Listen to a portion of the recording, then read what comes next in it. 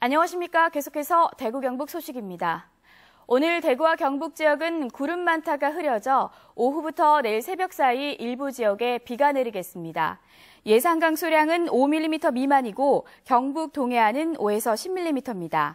오늘 아침 최저 기온은 대구 7.8도, 구미 7.2도를 기록했고 낮 기온은 대구와 구미 16도 등으로 어제보다 3, 4도 낮겠습니다.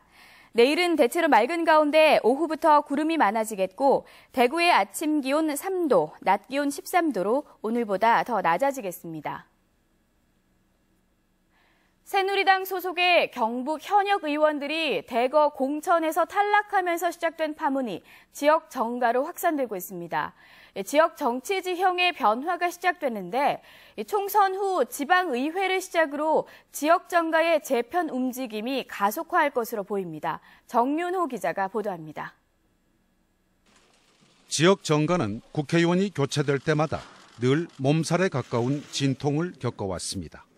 국회의원이 지역 정치의 정점에 있는 현 정치 구조에서 정점의 교체는 곧 주도권, 이른바 지역의 권력 교체를 의미합니다. 특히 이번 총선에서 선거구가 합쳐진 영주 문경 예천과 상주군의 의성 청송은 공천의 여파가 더 클 것으로 보입니다.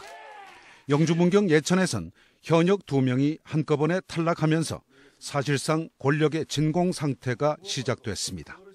현역 간 맞대결에서 정점을 잃어버린 군의 의성 청송 역시 권력의 공백 상태입니다. 영천 경주 등도 상황은 마찬가지입니다. 당장 7월로 예정된 하반기 시군 의회와 도의회 의장 선거부터 판도 변화가 예상되고 있습니다. 현 국회의원들이 만들어둔 시군의회 의장 선거 구도가 그대로 유지된다는 보장은 전혀 없습니다.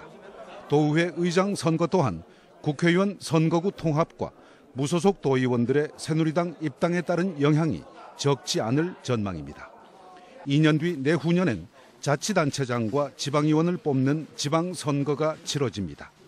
현 국회의원이 밀어준 시장 군수들이 다른 국회의원에게 지원을 받는다는 보장 역시 없고 그런 사정은 지방의원들도 익히 알고 있습니다.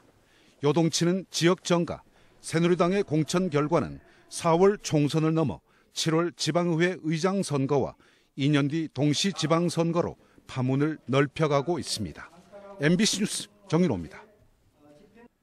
경북지방우정청은 제20대 국회의원 선거와 관련한 우편물을 신속하게 전달하기 위해 다음 달 13일까지를 특별 소통기간으로 정하고 비상근무에 들어갑니다.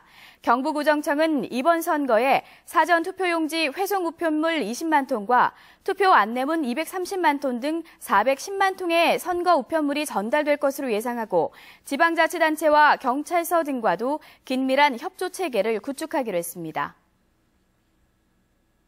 대구시 교육청은 오늘 오후 수도권 21개 대학 입학 담당자 40명을 초청해 고교 진학 담당자를 대상으로 대입 정보 포럼을 열어 대학별 입시 정보를 제공하고 대학 입학 담당자와 고교 진학 담당자 사이 네트워크를 구축해 협력 방안을 찾습니다.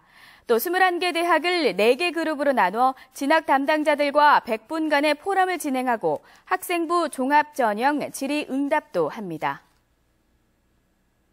대구 보건환경연구원은 국내 지카 바이러스 첫 감염자가 생김에 따라 철저한 예방과 방역에 나서겠다고 밝혔습니다.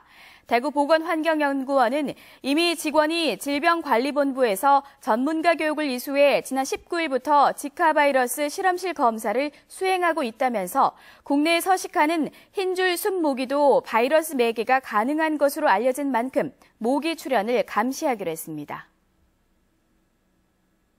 네, 이상으로 생활 뉴스를 마칩니다. 고맙습니다.